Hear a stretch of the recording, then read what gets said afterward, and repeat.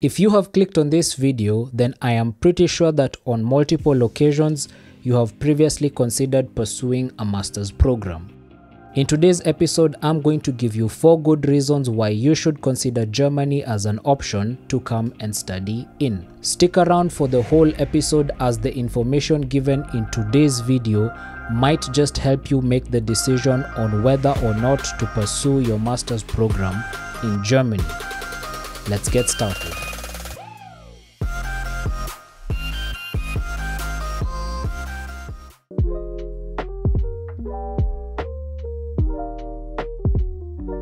As you probably already know, Germany is one of the few countries in the world whose public universities offer tuition free education to both its citizens and to international students.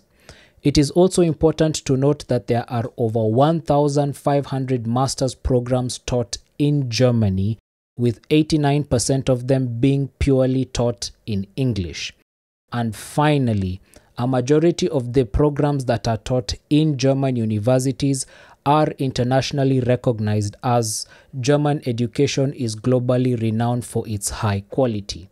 So now the question is why would you go to other countries such as the US, Canada, or the UK and end up paying thousands of pounds when you can get high quality education in Germany at a fraction of the cost?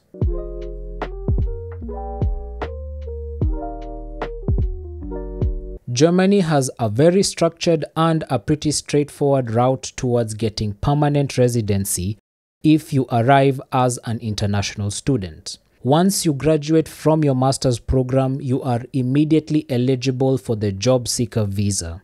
This is a special visa that allows foreigners who have graduated from recognized universities in Germany to remain in the country for a period of 18 months as they look for full time employment at a German company. After you find a job, you can then shift from the job seeker visa to the employment visa, but be aware that this job has to meet certain requirements set by the German government.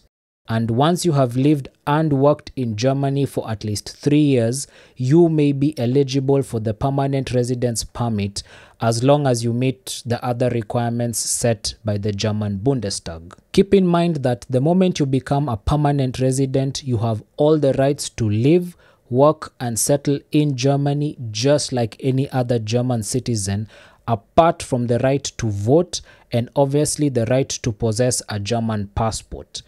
If you would like me to make a video talking more about either the job seeker visa, the employment visa, or even the permanent residency process, kindly let me know in the comment section down below. Also, while you're down there, kindly leave a like on this video and if you are new to the channel and so far you are finding value from today's episode, all I ask from you is to subscribe to the channel. As you can see, we are nearly at 700 subs and we're trying to hit 1000 subscribers by the end of this year.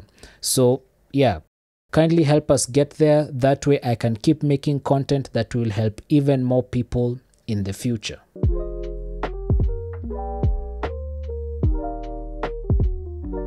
If you take a look at the European map, you will notice that Germany is located pretty much at the center.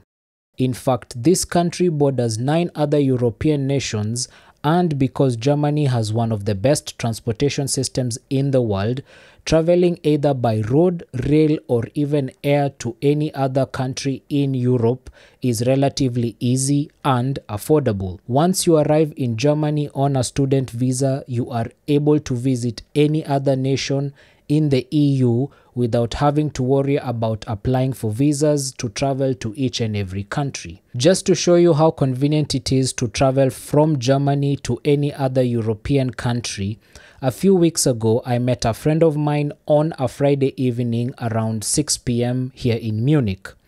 And the next morning, I woke up to his Instagram stories of him hiking in a city in Austria. I honestly cannot think of many other countries in the world that allow a student as many options to travel to when not studying.